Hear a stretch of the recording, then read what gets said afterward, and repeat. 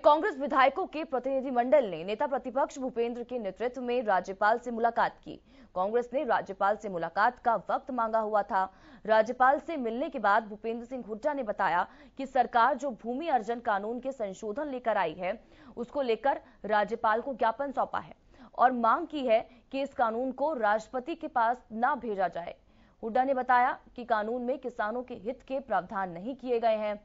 साथ ही उन्होंने ये भी बताया कि किसानों के लाठीचार्ज को लेकर भी राज्यपाल को ज्ञापन सौंपा और इसकी न्यायिक जाँच की मांग की गई है।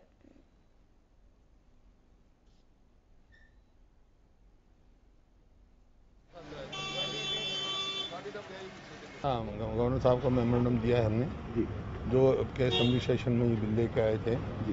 जो अपना कॉम्पनसेशन लैंड एक्विजिशन अमेंडमेंट लेके आए थे वो जो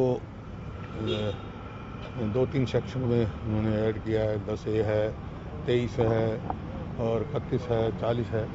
वो चार ऐसे प्रावधान किए हैं जो कि किसानों के विरोध में जो मूल भावना जो 2013 के एक्ट को मतलब मूल भावना से छेड़छाड़ करते हैं। तो हमने राज्यपाल जी को लिखा मेमोरेंडम दिया है कि इसको राष्ट्रपति के पास असेंट के लिए ना भेजें, बल्कि वापस असेंबली भेजा जाए। ताकि ऐसी कोई किसानों के अहित की बात ना हो। उनका बड़ा भारी नुकसान हो। जो करनाल में इंसिडेंस हुआ, जो लाठीचार्ज हुआ, बहुत सारे सवाल सवालिया निशान खड़े हैं उसके ऊपर। और अलग अलग बयान भी आए हैं। ये भी हुआ है। तो उसके लिए भी हमने उनसे रिक्वेस्ट करी है कि आप लोगों से भी न्यायिक जाँच कराया जाए, ताकि दूध का दूध, पानी का पानी हो जाए।